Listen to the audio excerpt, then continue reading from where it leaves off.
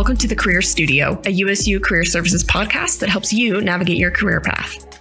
Thanks for joining us for our Friday face to face episode. I'm Marissa Armistead, your host, and I'm so excited to have Sophie Bassett here, a colleague of mine, here with us today on the show. Welcome, Sophie. Thanks for having me. Sophie is an alumna of USU and earned her bachelor's degree in English. As a student, she also worked for the College of Engineering, which eventually led to working in academic advising. As an academic advisor, she worked closely with Career Services to schedule presentations, and eventually that relationship led to her current job as a career coach. So, in addition to all of this impressive higher education work, Sophie, you mentioned that you were in the audience with Bob Barker during an episode of The Price is Right. Tell us more about this lovely experience. yeah, it was an experience of a lifetime. I have nine girlfriends. I have so eight of it, so nine including me from high school. So we have been friends since junior high, and we've remained really close through all these years. So we graduated high school 20 something years ago.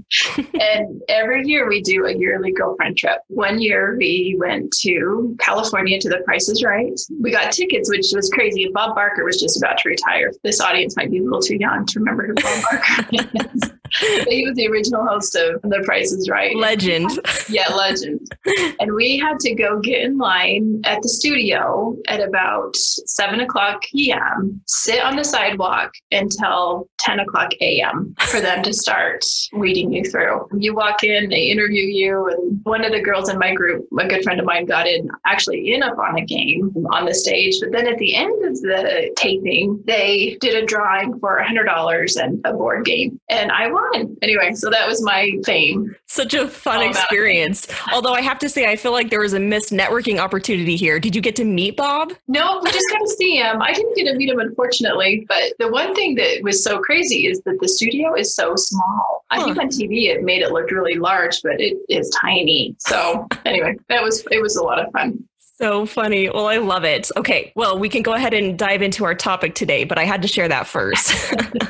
All right. So this month we are looking at networking and specifically we're looking at how it relates to our career and professional development. So with that in mind, Sophie, I was wondering if you would be willing to talk to us a little bit about your college experience and specifically when you were in college, did you know what you wanted to be when you grew up? so yeah, it's interesting you asked that question because I had this memory last week when I was getting prepared for the class I'm teaching this fall. When I was in high school, I really wanted to be a nurse and I loved my health science classes. I really enjoyed them. I knew that's where I was going to go. My downfall was that I didn't do very well in math. And I got into college and I'd met with the academic advisor who was over the pre nursing program. And he said, You're not going to cut it, girl. He was rude.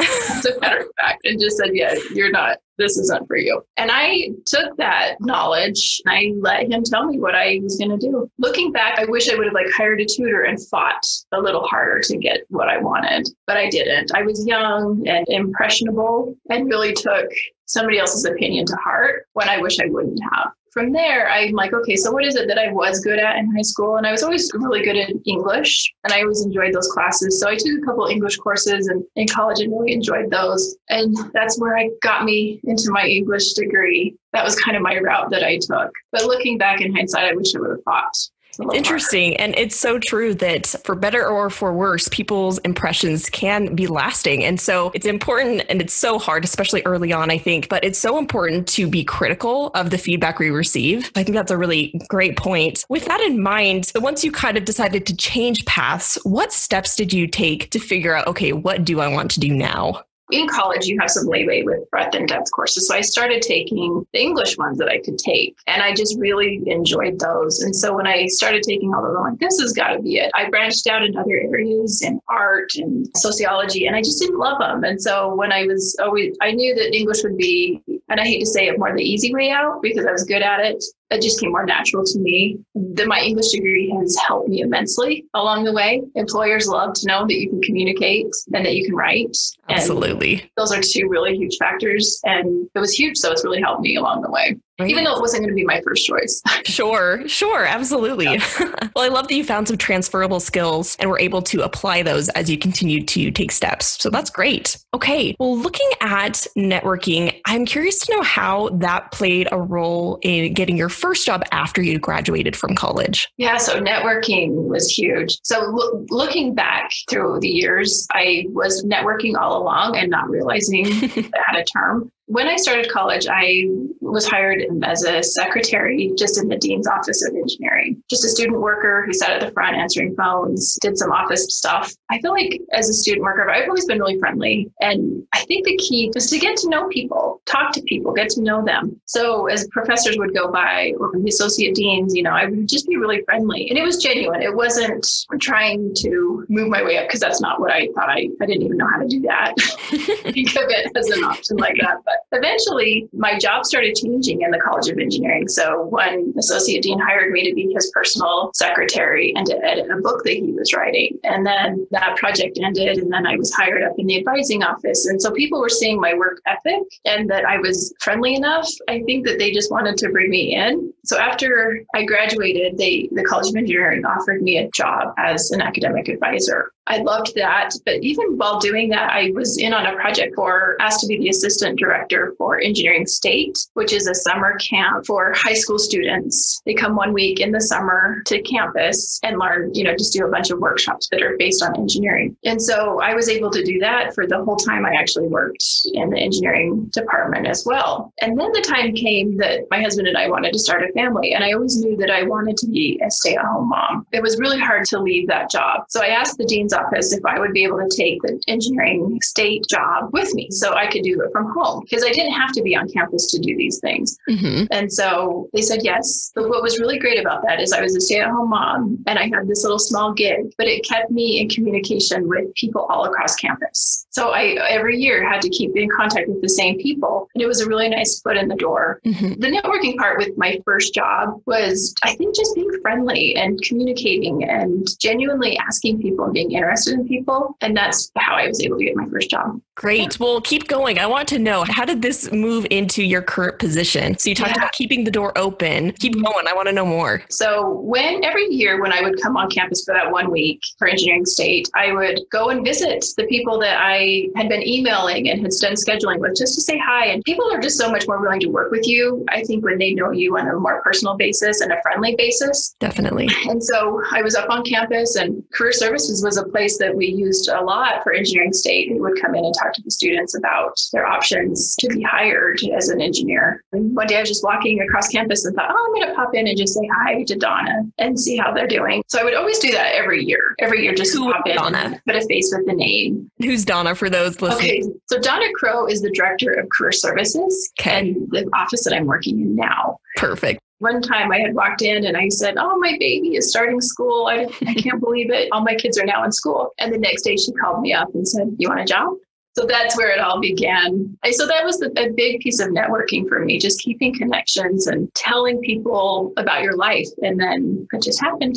What a cool story. I love that you recognize different values and different importances at different points in your life. I love that you knew that you wanted to stay home for a time and you made that a priority. But I also love that you kept your foot in the door. And I think that's a piece that sometimes people don't consider until 20 years down the road. And it can be yeah. really hard to get back into the working world at that point really great advice for those considering staying at home. Additionally, I have a follow up question, and you've hit on some of these already, but what are some strategies that you use to build and maintain meaningful connections now in your job? I actually do the same things now that I did then. When I'm walking across campus, I'll stop in. If I know somebody who works in that office, I'll just pop in and say, Hi, how are you? How's life? What's going on? As I've gone on in my career, you know, there's times I've gone to conferences and sure. group settings. And when I've hit it off with somebody, you know, if I think about them, I'll just pop them, you know, it takes one minute to send an email. Hey, just thinking about you. How are you doing? I still do that. I still do those things. And it's been interesting, just even in engineering, if I'm over there doing a presentation, you know, I'll pop in and say hi to some of my old friends. And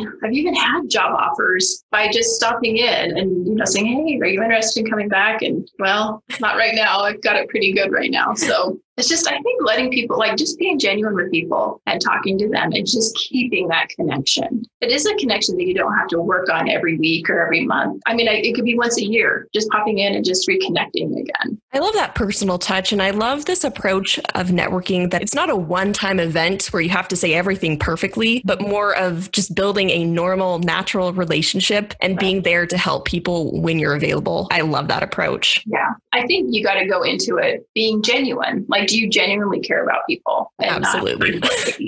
Because people will read through that part of it if it's for your, you know, personal gain. Definitely. So. I totally agree. Yeah. Okay, well, I want to transition a little bit here. I know that you've mentioned that your current job is the dream job. It's just a really good fit. And I know for a lot of students, it can be hard to identify what a good fit looks like. And so I want to dive a little bit deeper into that. And maybe you can kind of start with describing how you knew that this was a good fit for you. And maybe you talk a little bit about the balance of family and work life, or maybe it had to do with the company culture or the actual content, what you do on a daily basis. Just talk to us a little bit about how you knew knew your current job was a good fit? At first, I didn't realize it. When I had been home for so long, I had been home 10 years. I, it really was a, a heartstrings pull for me. I really wanted to be back out in the workforce, and but then I really wanted to be home too. When I first came back into the workforce, I just had minimal hours, 15 to 20 hours at most. And then as I grew accustomed to that, then I went into three quarter time. I think when I realized this was my dream job is when I realized how well it fit into my family culture, into, into my dynamic. Still being a mom with you know young kids, I've got to have that flexibility. And I hate to say it, but it's just the flexibility is huge once the flexibility was there and I was figuring out how to maneuver it in my own personal life, I realized I land a pretty good dream job when I really care for the people that I work with. I've got a great director and she's hired great people and we just really genuinely care for each other. And it's really more of a team environment and seeing how she, the role that she's played and the example that she has set has really set an example for a really great team dynamic. So I really have hit the jackpot in the employment department because I've got flexibility. I've got people I enjoy working with. And it's the type of relationships, they will remain relationships even when I'm gone and not in this position or in this office anymore. If somebody else leaves, uh, relationships that will maintain. Absolutely. Yeah. And I'm biased because I work in the same office, but I agree. I, I think for me, some of the selling points were absolutely the people. I think that was probably the biggest thing. I remember being interviewed, and which was terrifying, by the way. Yeah. but I loved, I could tell that everybody on the panel loved their job. They loved the people they worked with. And I wanted to be a part of that. And I think that's such an important piece. You know, you may love the content, but if you can't stand the people you're with, it means very little. Yeah. It's it's not enjoyable. So right. I agree that that people piece has been very important for me as well. oh, I'm so glad to hear that. There's times that the job isn't perfect and there's times we have hiccups or, you know, disagreements, but sure. because that foundation is there as a team, we know we can get through it. And it's rare when there's a hiccup, but it's not, we don't live in a perfect world. they happen.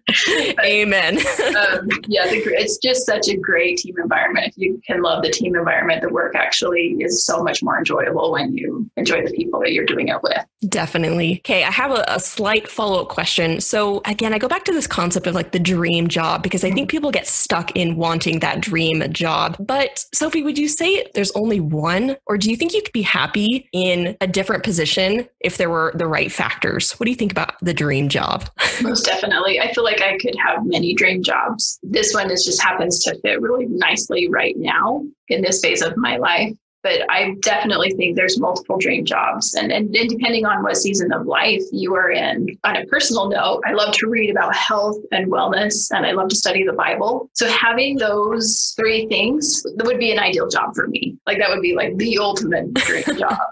In fact, I actually do something like this on the side that fills that personal niche. It gives me just enough to keep me satisfied in that area. So I really feel if you have other like hobbies or things that really pull you in a different direction, you can do both. So figure it out. Prototype.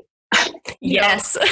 we, in our office, there's a big word called prototyping, and just keep trying, keep trying until something fits and something works. I love that. And I love that you're looking at a human being as like a three dimensional person who, just like you said, we have work, we have our families, we have other interests, other things that we are invested in outside of work. And we don't have to have all of those pieces in our jobs. And right. so I think, just like you said, being able to look at different avenues for exploring, and you may find that by volunteering, that leads to a full time position. That happens all the time. Yeah. But I love just this idea of exploring and being involved in lots of different areas. Mm-hmm. Yeah. Great advice. All right. Well, Sophie, unfortunately, we're just about out of time here, but I do want to ask one final question. And that question is if you could give students one piece of advice about networking as it relates to their career, what would it be? Okay. My biggest piece of advice. I think that many students or many people don't know about this thing called the hidden job market. And 75 to 80% of people who get a job is through not through a job posting. It's through this through this hidden job market, which entails networking. so when you are looking for a job, talk to people, let them know what you are wanting, put yourself out there, do some research, go to LinkedIn. I think if people really realized that they just started talking about what they want to do, there's going to be people who are going to have connections for them. So just talk to people, tell them what you're interested in, and it really will pay off in the long run. Great piece of advice, Sophie, and I totally agree. Well, I have so appreciated your holistic view of careers and, and really just your outlook on life. And I enjoyed our conversation and loved what you've shared with us. So thank you so much for taking the time to be here with us today. Thanks, Marissa. It was a pleasure. Thanks for joining us here at the Career Studio today. Please remember to join us next week as we continue to discuss this month's theme of how to have a networking mindset wherever you go.